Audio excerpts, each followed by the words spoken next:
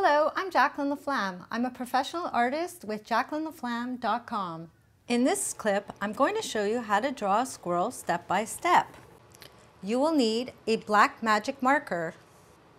You will need drawing paper. You will need a pencil sharpener. You will need colored pencils.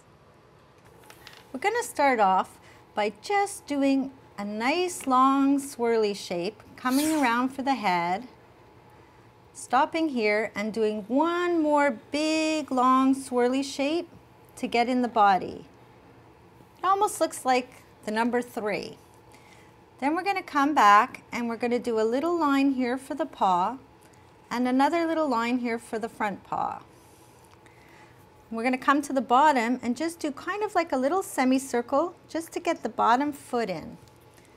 Then we're going to do another big long swirly shape up and down curve around and come back down around here to create the bushy tail.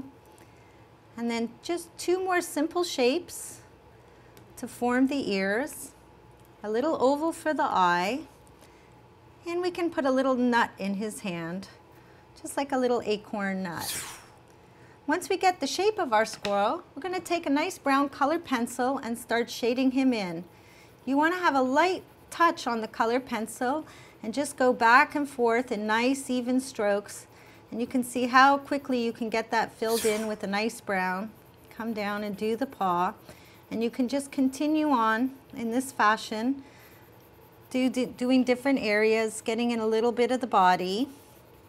Just like this, just nice, long, smooth strokes. And you see how quickly this can be all just filled in. I'm using a dark brown color pencil just to do the base of the body. And you can continue in just like this. Now I'm going to take a little bit of a lighter brown pencil and just start highlighting in some lighter brown at the top of the head where the light would be hitting the squirrel.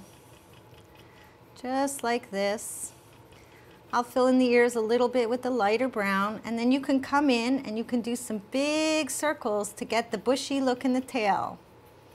And you can just continue on in this fashion until the whole squirrel is filled in and you will have a beautiful drawing of a squirrel. This is Jacklyn Laflamme. Thank you for watching.